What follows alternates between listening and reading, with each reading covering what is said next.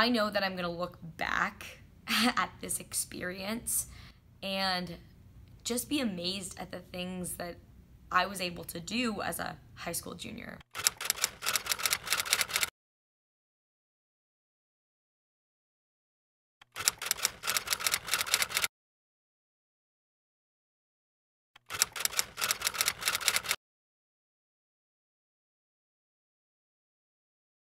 I mean, if you really if you break it down, it's like we went to Scotland with some of our best friends. We performed there and we met a lot of really cool people and we saw the country, not the country, but the city.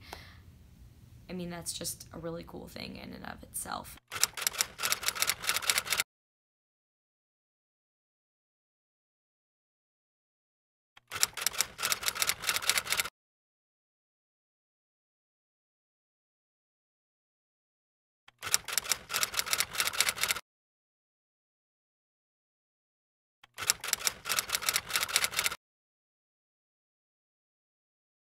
We were doing a show that nobody obviously knew because we wrote it ourselves.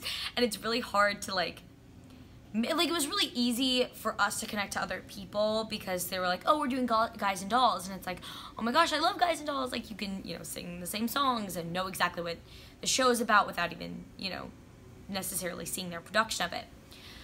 But we were those kids that were doing like a new piece. Like we were doing something really alternative that like obviously no one had ever heard of.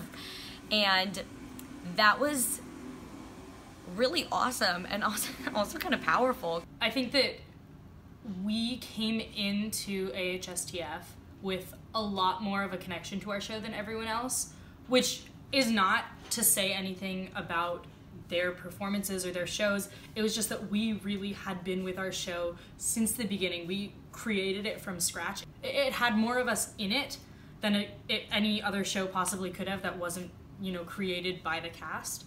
It also caused a lot of stress because so much was subject to change and there was so much interpretation going on all the time. We weren't sleeping that much. we'd get back to our rooms and it would be like 12:30 and you know, you wake up the next morning, you want to go sightseeing, you want to do things, but not getting a lot of sleep definitely did not help the fact that I was getting sick and that was really rough and to like try like turn down opportunities to go do things kind of like sucked because I was like I can't go do that I can't wake up and go for a run because I have to stay and sleep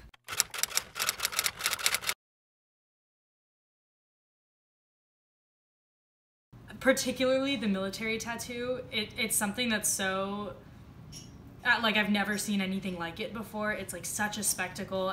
I think the tattoo was really incredible seeing all the bands from all the different countries perform and all the amazing artistic expression on the gigantic field was really amazing and the visuals were just so bright and really incredible. The the fact that it's so big and that like every country whose military band was there really brought something that was um, very culturally important to them. My relationships with my friends changed dramatically uh, while I was abroad because, you know, when you travel with someone, that's when you really get to know them. You really understand a new level of their personality. I think being friends with people at school is a lot different than being friends with someone in a different country. You really have to be responsible with your friends, and it's also delicate keeping your friendship strong even when you're spending 24 hours a day with them throughout the whole process of Alice, not just when we were in Scotland, but especially when we were there, um, there were people in the cast that I hadn't really interacted all that much with, but I really felt like I became a lot closer with a lot of those people, which was really, really nice because they were really great relationships that I might have just missed out on if I hadn't been put into a situation where I was spending a lot of time with them. I think in any situation where you have a lot of high schoolers spending a lot of time together, there's going to be tension sometimes a lot of it. So it kind of got tense pretty often. And we got through it, but there were definitely times when I worried about the connection between people and the relationships between people, including myself. I definitely felt like it was all really great, and there was like a point where it's like we all like hated each other. But then the next day, like once we got closer to the end, we like realized, wait, this is really great. Like we shouldn't let little things bother us and in the end, like everything worked out and we're really happy and I really miss it. After our last show in Scotland, in our theater, we finished early because we were so trained by that point. We were doing everything perfectly, so we finished 15 minutes early. So we had 45 minutes, including the 30 minutes we usually got, to clean up and get everything ready. And it, so we kind of just partied. We played music over the loudspeakers. We jumped around and danced and just had the best time. And that will always stick with me. That feeling of camaraderie with these people that are my best friends. Not many high schoolers get to just like jet off to Scotland for the summer, you know?